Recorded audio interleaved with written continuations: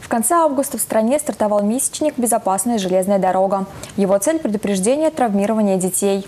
Сегодня у нас в гостях заместитель главного инженера Горьковской железной дороги по территориальному управлению Евгений Ананьин.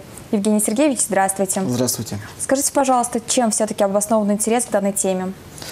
В целом по Горьковской дороге с начала года уже травмировано 121 человек. При этом 83 человека были травмированы смертельно. Конечно, это заставляет задуматься, при том, что 16 из этой статистики – это дети.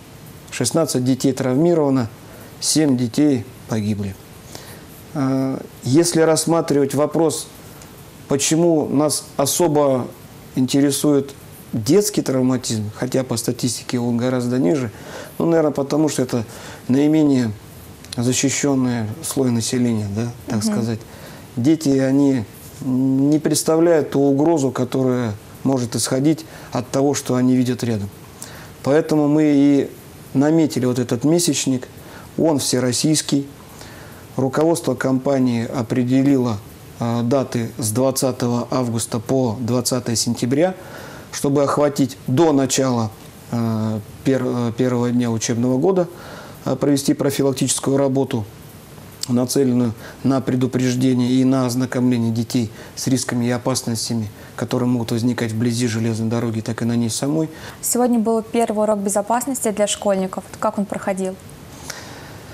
Я хочу сказать, что заметно, что дети отдохнули за эти три месяца каникул. Конечно, это дает о себе знать. Та определенная дисциплина, которая э, вкладывается в течение учебного года – она сейчас у нас э, маленько снижена теми прекрасными днями, которые были проведены в теплое, теплое время года. Вот. Но при всем при этом хочу сказать следующее, что дети, когда впрямую с ними проводишь общение, когда доносишь до них э, риски и угрозы, когда просто объясняешь, какие могут быть последствия от того, что они нарушают правила безопасности нахождения на ЖД-путях, они вполне рассудительно это воспринимают, они принимают, они не отрицают, и самое главное, им интересно. Вызывает, конечно, у детей интерес, когда рассказываешь о той инфраструктуре, которая находится вблизи железнодорожных путей. Да? Это наши провода, устройства, светофоры. И в процессе вот этого рассказа показывается, а вот здесь безопасно, здесь безопасный проход. Да, вот посмотрите, специальный, как мостик, пешеходный переход сделан. Вот тут вот у него сигнализация.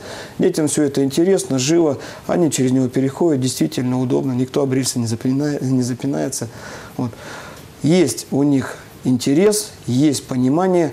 Самое главное, вот э, то, что в детях просыпается, у них чувство самосохранения есть. И оно в детях оно развито, а, наверное, в большей степени, чем у взрослых. Да, иногда так не кажется. Это потому, что мы, взрослые, иногда сами подаем неправильный пример. Mm-hmm. Вот а, посмотрите, любой рейд, да, даже вот сегодня, как взрослые себя ведут на путях. Они не обращают внимания, что рядом с ними дети – они э, переходят в неустановленном месте, они сами берут детей за руку и ведут их э, переходить через дорожные пути в неустановленных И потом говорят, местах. что так никогда не делайте. Правильно. А потом пытаются доказать, что так делать нельзя. Конечно, показывая неправильный пример детям, в итоге мы э, сами провоцируем детей на элементарные ну, да, нарушения. Конечно. Ну и потом э, тот риск, который мы с вами имеем, он сегодня становится все сильнее ввиду того, что железная дорога, она модернизируется, она улучшается. Вот если все представляют железную дорогу э, как вагоны, которые с большим грохотом проносятся мимо, угу. и обыватель, э, любой житель э, нашей республики, который находится э, вблизи железной дороги, он так ее и воспринимает. Когда мимо проходит состав, гремят э, вагоны, стучат колеса – но никто не знает о том, что когда ты находишься на путях на самих, да, то приближающегося поезда не слышно. Мы сегодня снижаем шумовой эффект. Мы э, меняем рельсы ложим 800-метровые рельсы, то есть стыки исключаются. Вагоны э, идут модернизированные, новые э, форматы подвесок выпускаются уже мягче. Вот этого звукового сопровождения становится все меньше и меньше.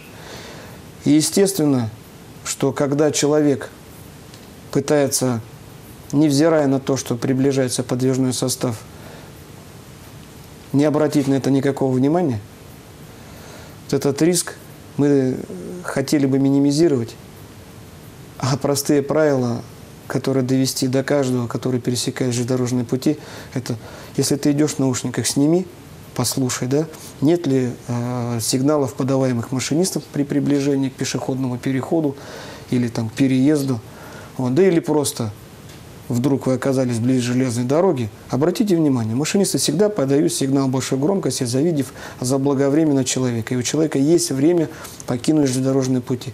Но капюшоны, наушники, отвлечение на мобильные телефоны – это, конечно, снижает и время реакции, и снижает вообще восприятие внешнего фактора. Какие мероприятия, помимо рейдов, помимо бесед с детьми, будут проводиться? Мы здесь, наверное, берем модель и работаем совместно э, с Министерством по чрезвычайным ситуациям. То есть э, вот сколько мы проводим вот эти вот рейды, да, сколько мы встречаемся на различных уровнях в государственных структурах, муниципальных образованиях, мы идем плечо к плечу. То есть мы формируем образ железной дороги не только положительный, но и заставляющий родителей и детей представлять реальность ситуации. Поэтому мы вот и говорим, что это месячник. А вообще работа ведется целый год. Но я вам расскажу сейчас именно про то, как мы будем вести вот этот месячник к 1 сентябрю приуроченный. Называется он у нас «Безопасная железная дорога». Вот. А, в первую очередь, конечно, мы отрабатываем со школами, а, включаем в план работы встречу с коллективом педагогического состава. Это первое. Обеспечиваем э, школы, э, учебные заведения методической литературой. За эти годы мы наработали уже лекционный материал, мы наработали, имеем агитационный материал, видеофильмы, мультипликационные фильмы. То есть для разных возрастных категорий, соответственно, разный подход. Привлекали для этого специально психологов, отрабатывали с ними, чтобы это было э, наиболее восприимчив э, ребенок к той или иной информации, да, вот, э, что-то можно, что-то нельзя, чтобы было понятно. Безопасность детей на железной дороге – это же не только внимание детей и родителей, это еще и безопасность качества самих дорог. Вот как-то, как проверяют железные дороги, и есть ли на данный момент в России, в Чувашии такие участки, которые вызывают опасения? Железная дорога сегодня, она сформирована, а, чтобы безопасно ее эксплуатировать, а, чтобы безопасно пользоваться ее услугами. Сегодня нет такой составляющей, где бы мы не предусмотрели а, то, чтобы обезопасить нашего пассажира, клиента, ну или просто человека вблизи железной дороги. Но это же все надо понимать в рамках людей ответственных, на ну, безответственность ну, очень тяжело нам с вами э, рассчитывать и предугадать э, такие, как э, случаи, когда вместо того, чтобы идти по мосту, поднимаются, значит, на ферму моста, защищающие от поражения электрическим током. Погиб молодой человек в Канаше, трагически. Жаль, когда такое случается, это очень страшно, но факт остается фактом. Специальное ограждение, чтобы человек не поднимался – человек поднялся и погиб. То же самое, значит, при наличии моста люди вместо того, чтобы идти по мосту, э, пытаются пролезть под вагонами и попадают под подвижной состав. Вот таких случаев, конечно, мы не застрахованы.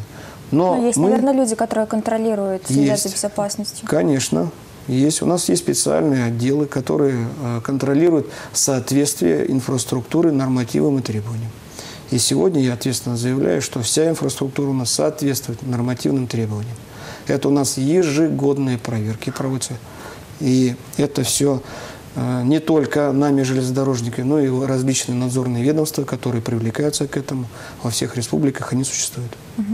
И еще вопрос. А если человек э, в неположенном месте переходит железную дорогу или там хулиганит, как-то ведет себя, делает селфи, это же как-то наказуемо или нет? Да, у нас э, есть два варианта. Э, первый – это стандартный штраф в размере 100 рублей за пересечение железной дороги в неположенном месте. Угу. Вот. И вступил в силу в этом году 60-й федеральный закон, в котором говорится о том, что за хулиганство на транспорте значит, э, возможны штрафные э, штрафы в размере до 500 тысяч, значит, и в некоторых случаях и до двух лет лишения свободы. То есть здесь уже будет рассматривать, конечно, суд и принимать меры в зависимости от тех хулиганских действий, которые проводятся. Это законом сегодня предусмотрено, и законом это регулируется. Спасибо большое за интересную беседу. А я напоминаю, что у нас в гостях был Евгений Анандин. До свидания.